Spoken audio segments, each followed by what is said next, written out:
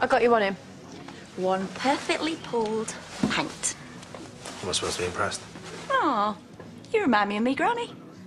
Hey? Yeah, she were at misery guts and all. How's that funny? Because it's true. Have you seen Vinny? Isn't he up at the scrapyard? That's where he's supposed to be, yeah. Well, one of your trucks is blocking the scrapyard entrance. All right, I'll sort it later. Well, later's no good, I need them now. Well, you've not lost any of your charm, have you? You what? Heard you were back in town. How's it going? Are you for real?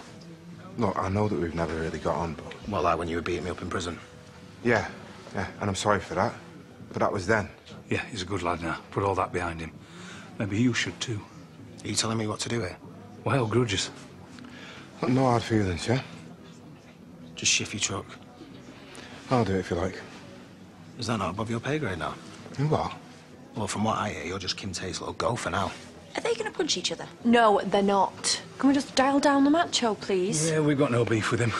Come on. What's all that about?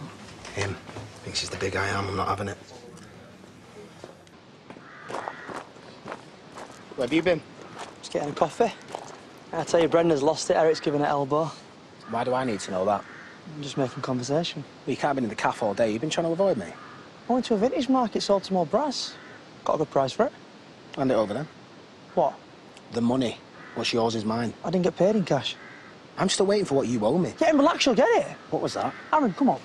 You need to stop pretending that me and you were mates. What are you doing here? Shifting the van, like I said. Look, is he bothering you? No, it's all good. Don't look like it. Look, if you're going to mess with him, you've got me to deal with. Try it, mate. Pathetic. Just get in your van and move it, yeah? We're wasting one day. Please don't.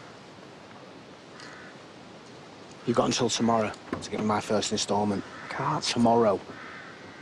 No arguments.